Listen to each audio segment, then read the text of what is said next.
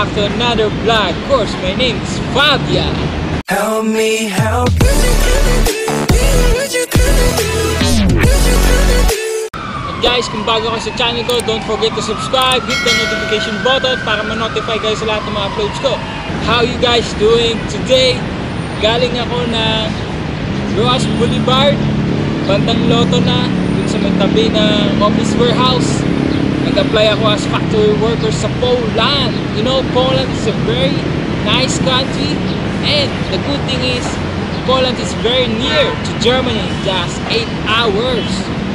So guys, sana mapili ako. Yung agency na yun, hindi siya ganun ka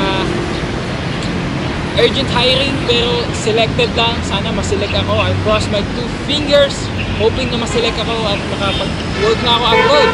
Diba? Ang hirap ng buhay sa Pilipinas. Woo, ang sarap ng hangin, diba? That's life. So easy, right? It's so hard.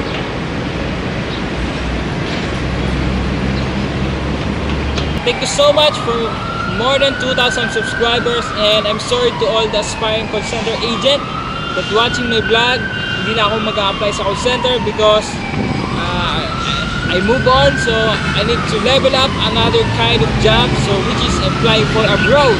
Oh, I got it. I got the job.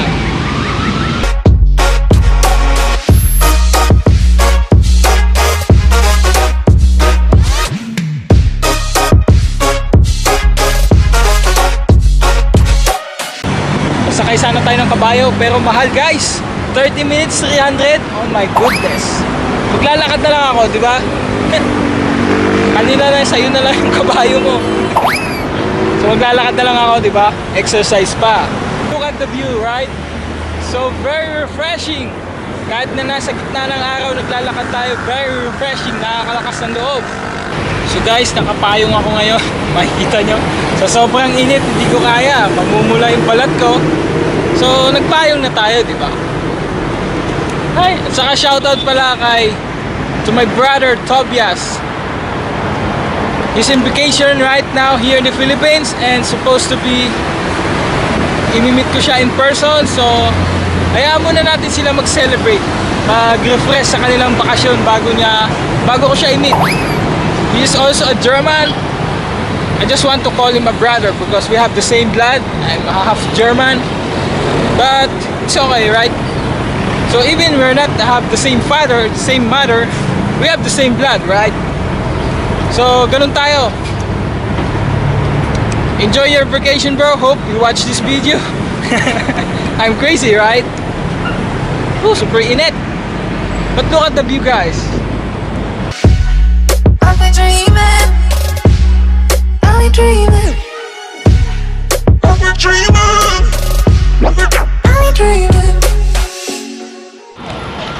So guys, dito tayo ngayon sa CCP, Cultural Center of the Philippines. Pumupuno na ako dito. Napagod, ayan. Woo! Gwapo ko talaga, no? Ako lang may sabi. Super init. Busy-busy ang kalsada. Mga sasakyan. Traffic.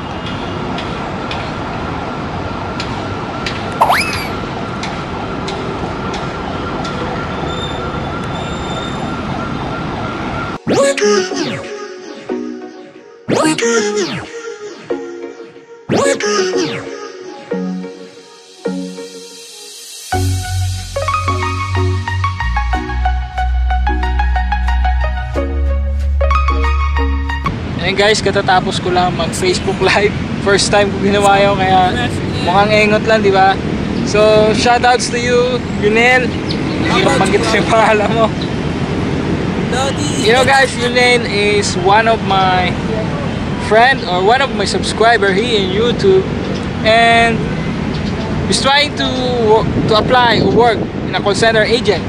And he, we're chatting in Messenger a while ago. He said that almost applied a lot of call center companies, 17 companies. Oh no, that's really sounds sad. But bro, if you're watching this vlog, don't give up. There's a good timing for you that for that. There's a good timing. just wait, try and try. Ako, suko na ako eh. I surrender na sa call center. Hindi na ako mag-apply sa call center. That's why I'm applying work abroad. So, you, you know guys, I've been in a call center for almost just a couple of months. But I need to upgrade to another kind of job. So guys, nagugutom na ako. For sure, uuwi na muna ako ngayon at i-edit ko pa tong vlog. So that's it guys. Thank you for watching. Thank you for supporting me. Whatever it is. Mukhang engot man ako, mukhang dramatic man ako, emo, whatever. Thank you so much guys and see you in another daily vlog.